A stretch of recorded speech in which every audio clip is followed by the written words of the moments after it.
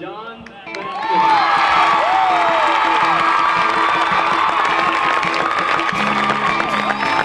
It was announced that John Fatkin and Kristina Willis were crowned as the 2013 PSU Homecoming King and Queen, and both feel honored for the recognition. Oh, I'm so excited. Um, it's an honor to be um, nominated, first of all, from ROTC, and then now being chosen as the queen was amazing. The two ladies that were called up before me, they're amazing and they're awesome, and I was just very excited for them. I wasn't even thinking my name was going to be called, and they called me, and I started shaking, and I was really happy. It feels great, and our, our student body is wonderful.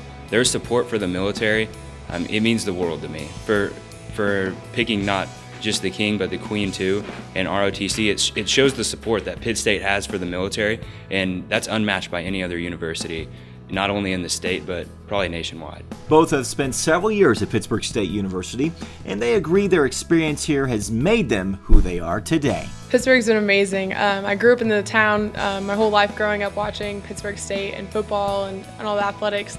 Um, so now it's amazing to come to the college and to get to grow as a person um, and become even stronger, especially through the military um, and academically um, from the College of Arts and Science. So I've had an amazing time and it's, I've grown as a person because of Pittsburg State. It's been wonderful. I've, I've grown as an individual, I've grown as a man.